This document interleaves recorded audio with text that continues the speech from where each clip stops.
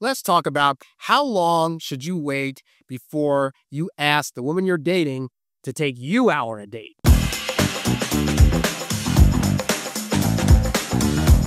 Hi there, guys. Dating coach Harry Wilmington here. So let's talk about this. You know, there comes a point in the span of dating a woman that most guys are going to start asking themselves this one question When is it her turn to take me out on a date? And it's understandable because obviously, if you're a guy that cares about this girl, you're being more than willing to spend your time, effort, energy, and resources to try to impress this woman. But after a while, you're going to start thinking, but there should be some reciprocity on her end. Like at some point, she should be coming to me and asking me for a date and being willing to pay for a date. So, what does that time frame look like? From your end and what is she thinking on her end that's going to make her feel like she's ready to do that. Let's talk about that. As always, this show is brought to you by Get Girls Academy, my exclusive program designed to help you attract, date, and keep the women you want. As a member, you'll gain access to proven strategies, insider tips, and bi monthly group coaching sessions where we tackle your biggest questions live. Click the link in the description to learn more and join today. So first off, guys, I want to stress that in the beginning, as much as we have the fantasy of like, oh, girls are going to come to us and start offering things, the reality is that more often than not, you as the guy are going to be the one to initiate these first few dates. You're going to go to her, you're going to get her number, you're going to hit her up, you're going to ask her out, you're going to plan the date. Can't stress this enough because women are tired of not having men plan dates. You are going to plan out the full date, right? And so you're going to plan a date, take her out, have a good time, if you go to my Get Girls Academy, I'll lay out exactly what the first date should look like. But suffice to say, by the end of that first night, you'll have hopefully done a good enough job to where when you hit her up later, she's going to say yes to a second date, right? And so for those first few dates, you are more likely than not going to be the one that's going to be planning the things and taking her out. And that's all good. But here's the thing where you may potentially get nervous is that you may start to think after like the second or third date, okay, I've taken her out a few times now. I've spent quite a bit of money. And I don't want to feel like I'm getting used just for time and attention and for what I can spend on this girl. I need proof that she's willing to do for me also. And so I want to now have a conversation about when she should take me out. Or you may just be thinking, hey, Harry, at what point should I even expect that the woman's going to come to me and be like, hey, I, have enjoyed our date so far. Let me treat you.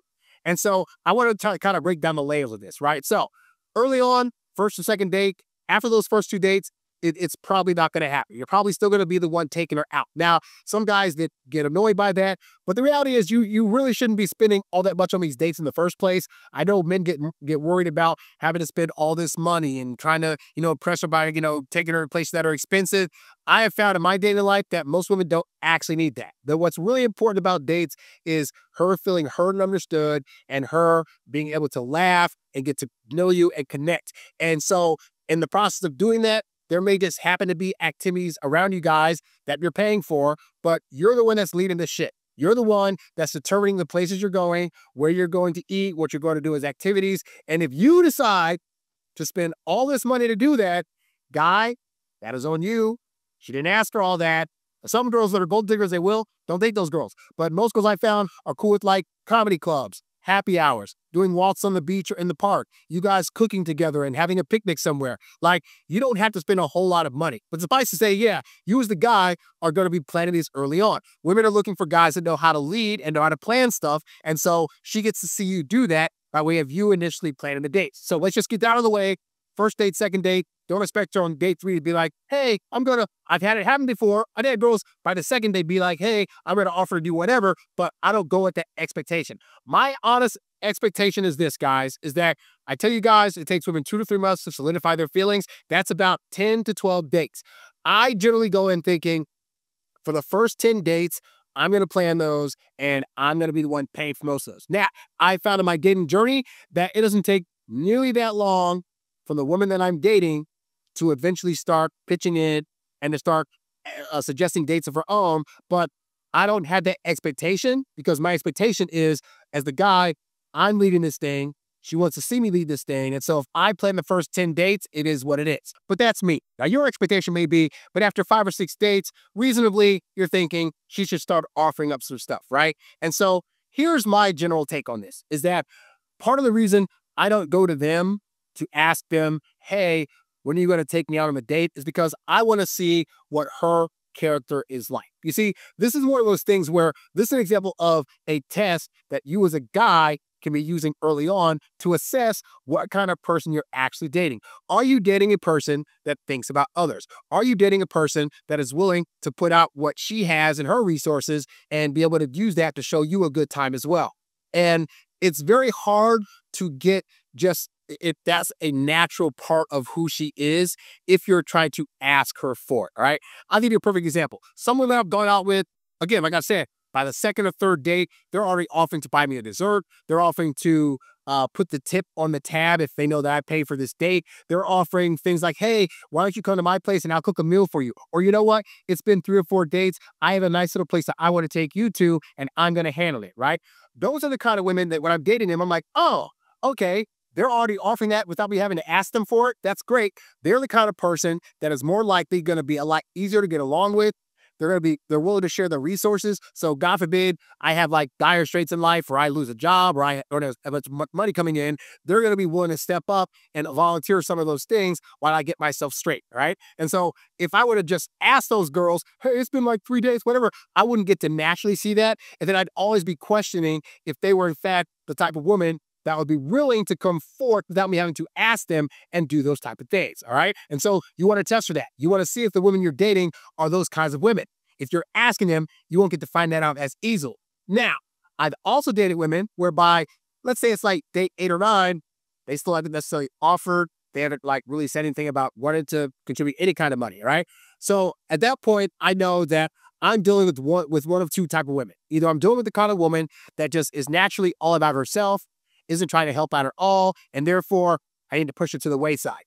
But I could also be dealing with a woman that is a traditional woman, meaning that she learned in her household that for whatever reason, the man pays everything. The man's the one that always puts the money forth. The man's the one that should be planning out all the everything in life, whether it's like, you know, dates or where you guys are gonna live or whatever. And so she's just cool to go along and be a willing participant. And so she'd be the kind of person that at the end of the day would probably be a housewife. Like she's gonna follow your lead. She's down to do it home, whatever. But in terms of her spending money on you and her volunteering things, she just didn't grow up in that environment. And so she's not aware that it's perfectly fine for a woman to do that, right? Now, you don't know which one you're dating.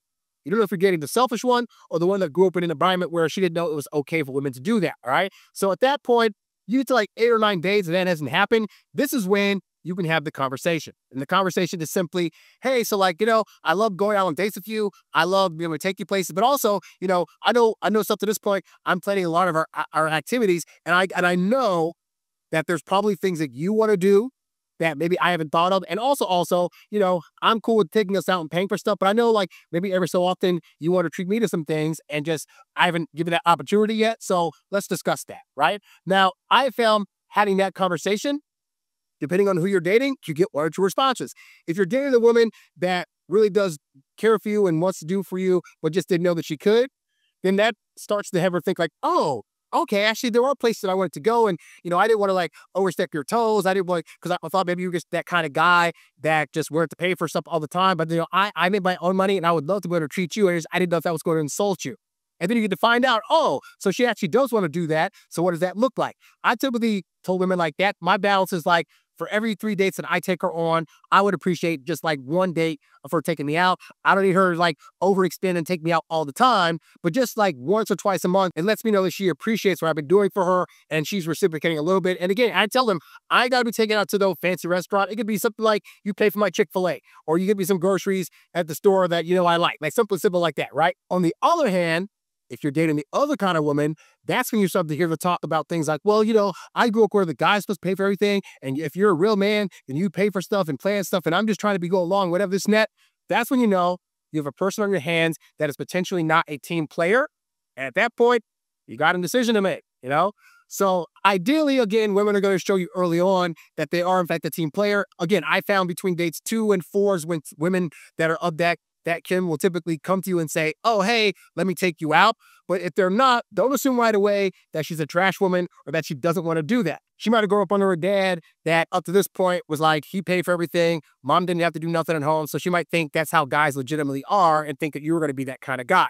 Those kind of girls can be changed to a person that's going to pay for sporadically, like real quick. But the other ones, ugh, stay away. So hopefully some of this gives you some insight. Ultimately, at the end of the day, guys, if you decide to ask her, hey, when can you take me out? I'd say do it closer to the eight to nine dates if you haven't seen it happen up to that point. Like give it time. Sometimes women need that two months to start feeling things for you before they start volunteering things. And that's totally fine. But don't think that you're getting bamboozled or hoodwinked just because you're being made to go on to plan dates and spend money on her own dates. Again, it ain't got to be an expensive proposition. Like taking her out for a meal here and there shouldn't cost you more than 20, 30 bucks a pop.